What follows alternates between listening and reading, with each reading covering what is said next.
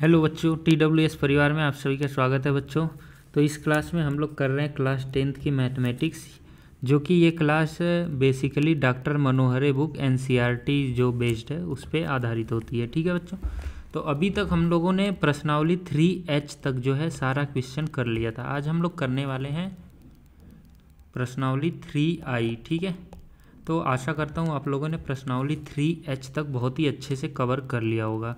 और आपकी पढ़ाई में हमारा चैनल पूरा ही आपके पूरी तरीके से हेल्प कर रहा होगा, ठीक है? तो चलिए आज करते हैं प्रश्नावली थ्री आई, ठीक है? इसमें देखते हैं सबसे पहले question number one. Question number one क्या है कि दिया है समीकरण एक दिया हुआ है, आठ एक्स प्लस पाँच वाई बराबर ग्यारह को संतुष्ट करने वाले बिंदु के निर्देशांक ज्ञात कीजिए, ठीक है? तो इसको ज्ञात करने के लिए हम लोग क्या करने वाले हैं, देखिए कि निर्देशांक ज्ञात करने का मतलब है कि यक्स और वाई के किन मानों के लिए। ठीक है? ये समीकरण में ये कह लीजिए कि लेफ़्ट हैंड साइड और राइट हैंड साइड बराबर हो जाता है। बायां पक्ष और दायां पक्ष बराबर हो जाता है या अगर इसको हम इस साइड ले जाते हैं, ग्यारह को तो इधर माइनस ग्यारह हो जाता और बराबर ज़ीरो आ जाता। तो इस समीकरण का मान यक्स और वाई के किन मानों के लिए शून्य हो जाता है, वही निर्देशांक इसको संतुष्ट करेगा। तो चलिए देखते हैं, यक्स और वाई के लिए टू और माइनस वन रखते हैं और ये हम लेफ़्ट हैंड साइड को लेकर चलते हैं, ठीक है? तो देखिए, आठ एक्स का मान कितना है? दो तो यह आठ गुड़े दो प्लस पाँच, ठीक है? वाई का मान कितना है? माइनस एक रख देते हैं। तो आठ दूना का सोलह और पाँच गुड़े माइनस एक, माइनस पाँच, ये आ गया ग्यारह, ये देखिए राइट हैंड साइड के बराबर हो गया। तो यक्स और वाई के के जो दो दो माइनस एक के लिए राइट हैंड साइड और लेफ़्ट हैंड साइड, बायां पक्ष, दायां पक्ष और बायां पक्ष बराबर है। अतः जो है निर्देशांक दो माइनस एक इस समीकरण को संतुष्ट करेगा, ठीक है? चलिए अगले क्वेश्चन की ओर चलते हैं। क्वेश्चन नंबर बारह। देखिए, इसमें क्वेश्चन नंबर एक के बाद जो है जितने भी क्वेश्चन है, वो सारे क्वेश्चन आपको पिछले क्लासेस में करवाए जा चुके हैं। और या फिर बिल्कुल सेम वैसे ही क्वेश्चन है, इसलिए उन क्वेश्चन को मैं नहीं करवाता हूँ। अगर आपको करने में दिक्कत होगी तो आप कमेंट बॉक्स में हमें बताइएगा, उन क्वेश्चन को करवा दिया जाएगा, ठीक है? तो चलिए क्वेश्चन नंबर बारह, ये थोड़ा सा अलग लगा, इसलिए मैंने इस क्वेश्चन को ले लिया, ठीक है? तो इसमें दिया हुआ है, देखिए, त्रिभुज के कोड़ों के बीच एक संबंध दिया हुआ है, और इसमें त्रिभुज के तीनों कोण को ज्ञात करना है, ठीक है? तो देखिए इस क्या संबंध दिया है? कोण सी बराबर थ्री कोण बी बराबर टू कोण ए प्लस कोण बी ठीक है? तो हम जानते हैं त्रिभुज के तीनों कोणों का योग क्या होता है? 180 अंश होता है, ठीक है बच्चों?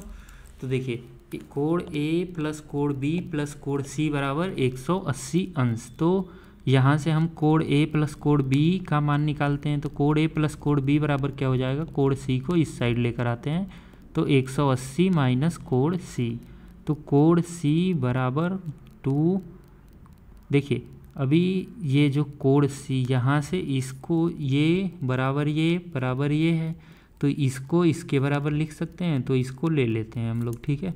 कोड सी बराबर टू कोड ए प्लस कोड बी ले लेते हैं।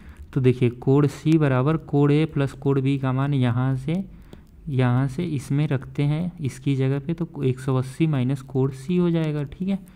तो दो का गुड़ा कर देते हैं अंदर तो 360 माइनस टू कोड सी।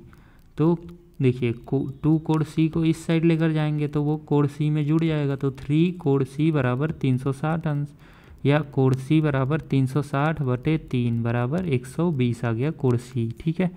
अभी हम कोड ए प्लस कोड बी बराबर 180 माइनस कोड सी जानते हैं तो कोड ए प्लस कोड बी और एक कोड सी का मान क्या है? 120 अंश।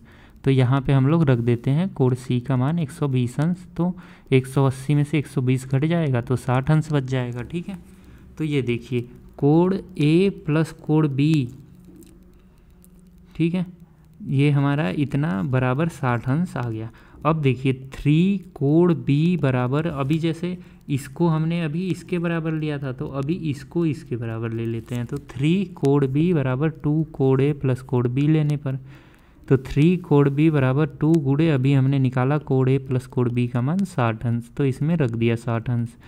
ठीक है? तो कोड बी बराबर साठ दूना एक सौ बीस बटे तीन हो जाएगा, इसको जब भाग देंगे तो आ जाएगा चालीस अंश, ठीक है? और एक चीज़ हम जानते हैं कोड ए प्लस कोड बी प्लस कोड सी का मान एक सौ अस्सी अंश तो हमने कोड बी का मान यहाँ से और कोड सी का मान यहाँ से इसमें रख दिया। तो आपका कोड ए बराबर आ जाएगा बीस अंश इस प्रकार हमारा कोड ए बराबर बीस अंश कोड बी बराबर चालीस अंश और कोड सी बराबर एक सौ बीस अंश आ गया, ठीक है? चलिए, अगले क्वेश्चन की ओर चलते हैं। क्वेश्चन नंबर उन्नीस। और देखिए, बारह से जो अट्ठारह तक क्वेश्चन है, वो आपको करवाए जा चुके हैं पिछले क्लासेज में, इसलिए उन क्वेश्चन को स्किप किया जा रहा है, ठीक है? एक ही क्वेश्चन को बार बार करवाने का कोई मतलब नहीं है, आप अपने से खुद प्रैक्टिस कर सकते हैं, ठीक है? अब देखिए ये है, अगला क्वेश्चन क्या है कि एक चक्री चतुर्भुज दिया हुआ है, इसके कोड में कुछ चर दिए हुए हैं, ठीक है? कुछ चर दिए हुए हैं तो उनको निकालना है कि हमें इन को सॉल्व करके चारों कोडों का इसके मान निकालना है, ठीक है? तो देखिए, चक्री चतुर्भुज की क्या प्रॉपर्टी होती है कि इसके जो आमने सामने के कोड होते हैं ना, उसका योग जो है 180 अंश होता है, ठीक है? जैसे कोड ए प्लस कोड सी का योग जो है 180 अंश हो जाएगा, या कोड बी प्लस कोड डी का योग जो है 180 अंश हो जाएगा। ये चक्री चतुर्भुज का गुण होता है, प्रॉपर्टी होती है, ठीक है? तो देखिए, कोड ए प्लस कोड सी बराबर एक सौ अस्सी अंश। कोड ए का मान इसमें कितना दिया हुआ है? फोर वाई प्लस बीस, और कोड सी का मान माइनस चार एक्स बराबर एक सौ अस्सी अंश, ठीक है? अब देखिए, इसमें से चार को कॉमन ले सकते हैं हम लोग। चार को कॉमन लिया तो क्या बचा? देखिए, चार तो यहाँ से वाई प्लस पाँच माइनस एक्स बराबर एक सौ अस्सी अंश। इस चार को दूसरी साइड लाते हैं तो एक सौ अस्सी बटे चार हो जाएगा, ठीक है? जब इसको भाग देंगे हम 180 में चार का तो कितना आ जाएगा? 45 पैंतालीस आ जाएगा, ठीक है? अब इस पैंतालीस को दूसरी साइड लेकर जाते हैं तो ये माइनस पैंतालीस हो जाएगा यहाँ आकर। तो पाँच माइनस पैंतालीस करेंगे तो माइनस चालीस आ जाएगा। तो हमारा क्या समीकरण बन जाएगा? वाई माइनस एक्स माइनस चालीस बराबर ज़ीरो। ये समीकरण एक हो गया, ठीक है? अब चलते हैं। कोड बी प्लस कोड डी बराबर 180 अंश। देखिए, ये दूसरा कंडीशन लेते हैं इसमें। कोड बी प्लस कोड डी बराबर 180 अंश, ठीक है? जैसे देखिए, अभी मैंने बताया कि इसके चक्री चतुर्भुज में जो है आमने सामने के कोडों का योग कितना होता है? 180 अंश होता है। तो एक तो ये वाला मैंने ले लिया था, अभी लेंगे ये वाला, ठीक है? तो इसके हिसाब से देखिए कोड बी प्लस कोड डी बराबर एक सौ अस्सी अंश तो कोड बी थ्री वाई माइनस पाँच और डी माइनस सात एक्स प्लस पाँच बराबर एक सौ अस्सी अंश। अभी इसको सॉल्व कर लेंगे, ठीक है? तो थ्री वाई माइनस सात एक्स माइनस एक सौ अस्सी बराबर ज़ीरो आ जाएगा, ये हमारा हो गया समीकरण दो। अब समीकरण एक गुड़ा तीन, इन दोनों समीकरण को हल करके एक्स और वाई का मान निकालेंगे। फिर सभी कोड़ों में इसको रख देंगे, ठीक है? तो देखिए, समीकरण एक गुड़ा तीन माइनस समीकरण दो गुड़ा दो, ठीक है? तो समीकरण एक गुड़ा तीन जब करेंगे, एक में तीन का गुड़ा करते हैं। देखिए तो तीन वाई माइनस तीन एक्स माइनस एक सौ बीस हो जाएगा, चालीस में तीन का गुड़ा हो जाएगा। तो और दूसरा क्या, अगला समीकरण है थ्री वाई माइनस सात एक्स माइनस एक सौ अस्सी, ठीक है? तो यहाँ थ्री वाई थ्री वाई से कट गया और सात एक्स में से तीन एक्स घट गया तो चार एक्स बच गया और प्लस साठ बराबर ज़ीरो या एक्स बराबर माइनस पंद्रह हो जाएगा। देखिए, जब साठ को दूसरी साइड लाएँगे तो ये माइनस साठ हो जाएगा। माइनस साठ बटे चार कितना बच जाएगा? माइनस पंद्रह हो जाएगा, ठीक है? अब समीकरण एक में या दो में यक्स का मान रख के वाई का मान निकाल लेंगे, ठीक है? तो समीकरण एक में रख देते हैं यक्स का मान। तो देखिए, समीकरण एक में जब यक्स का मान रख के सॉल्व किया हमने तो वाई का मान हमारा आ गया पच्चीस। अभी जो है कोड ए का मान निकाल लेंगे। देखिए, कोड ए है फोर वाई प्लस बीस। इसमें वाई की जगह पे हम पच्चीस रख देंगे तो हमारा आ जाएगा कोड ए का मान एक सौ बीस। इसी प्रकार कोड बी का मान निकालेंगे कोड सी का मान निकालेंगे कोड डी का मान निकालेंगे ठीक है? तो चक्री चतुर्भुज के चारों कोड़ों का मान इस प्रकार से हम लोग निकाल सकते हैं आसानी से। ये देखिए, कोड डी का मान 110 डिग्री आया, कोड सी का मान 60 डिग्री आया, कोड बी का मान 70 डिग्री और कोड ए का मान 120 डिग्री आ गया, ठीक है? चलिए अगले क्वेश्चन की ओर चलते हैं। देखिए, अगला क्वेश्चन है, क्वेश्चन नंबर बीस। क्वेश्चन क्या है कि एक कक्षा के विद्यार्थियों को पंक्तियों में खड़ा होना है। यदि पंक्ति में तीन विद्यार्थी अधिक होते तो एक पंक्ति कम होती। यदि पंक्ति में तीन विद्यार्थी कम होते तो दो पंक्तियाँ अधिक बनती। कक्षा में विद्यार्थियों की संख्या ज्ञात कीजिए, ठीक है? तो देखिए, क्या है कि इसमें इस तरह का क्वेश्चन अभी पिछली क्लास में मैंने आप लोगों को करवाया था। सेम बिल्कुल ऐसा ही क्वेश्चन था, वही क्वेश्चन है। तो इसमें हम लोग क्या मान लेंगे पहले? कि एक पंक्ति में विद्यार्थियों की कितनी संख्या है, वो मान लेंगे, ठीक है? और एक पंक्ति टोटल कितने पंक्ति हैं वो मान लेंगे। तो हम मान लेते हैं कि एक पंक्ति में विद्यार्थियों की संख्या यक्स है, ठीक है? और पंक्ति की संख्या वाई है। तो कुल विद्यार्थी क्या हो जाएगी? तो एक पंक्ति में विद्यार्थियों की संख्या गुड़े पंक्तियों की संख्या। यक यानी यक्स गुड़े वाई, ये कुल विद्यार्थियों की संख्या हो जाएगी। अभी पहला कंडीशन क्या कह रहा है? देखिए कि पंक्ति में अगर तीन विद्यार्थी अधिक होते तो हमने विद्यार्थियों की संख्या तीन बढ़ा दी। और पंक्ति की संख्या ठीक है? और एक पंक्ति कम होती तो हमने पंक्तियों की संख्या को एक घटा दी, वो कुल विद्यार्थियों की संख्या के बराबर हो जाएगी। इसको देखिए गुड़ा करेंगे तो ये एक्स वाई एक्स वाई से कट जाएगा तो X minus three Y plus three बराबर ज़ीरो आ जाएगा।